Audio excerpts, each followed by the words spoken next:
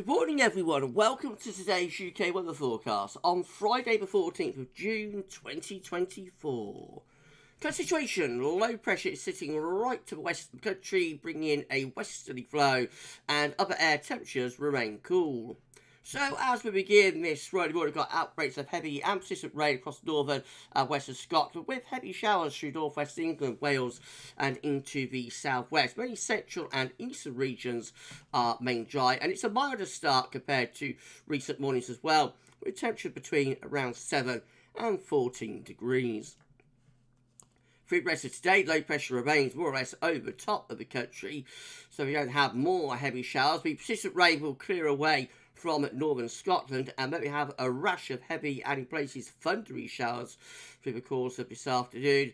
Some big downpours are likely in places, possibly merging into long spells of rain here and there on what will be another pretty cool day for the middle of June. Temperatures only ranging from about 15 to 20. 20 is 68 in Fahrenheit. Not too bad in the far southeast corner, but generally quite a coolish day to come.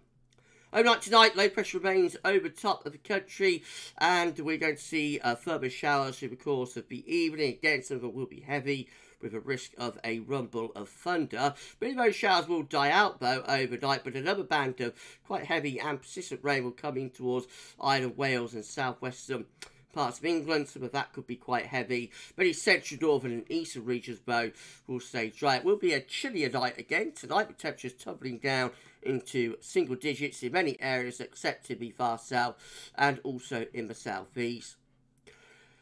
Tomorrow, Saturday, we'll see low pressure over top of the country again. So we're looking at another unsettled day. Some very heavy rain possible for central, northern and eastern Scotland. Really torrential with risk of localised flooding up there. Otherwise, it's a case of sunshine and showers. Again, some of those showers could be heavy with a rumble of thunder. A cool day to come as well. Uh, unusually chilly for the time of year temperatures ranging once more from about 10 to 18 or 19 degrees. A bit low pressure remains in control for Sunday. Further showers, if not longer spells of rain, especially in the northern half of the country. That's a little bit warmer down in the south, but still very cool up in the north. And then the low pressure begins to move away in towards the uh, North Sea as we go through into Monday. So more showers likely in the north and the east on Monday, drier in the south and the west. Temperatures edging back up to around 21 or 22. 22 is 17 Fahrenheit in the southeast corner. Trough flow close to the country into Tuesday, so it's going to be a case of showers in the north and maybe an area of more persistent rain coming into the far south and southeast. We'll have to firm up on that in the next few days. If that area of wet weather does develop, it will be a very cool day again.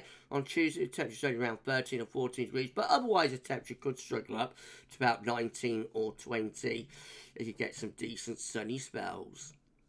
And that's the weather for this Friday. You enjoy the rest of your day, and thanks for watching.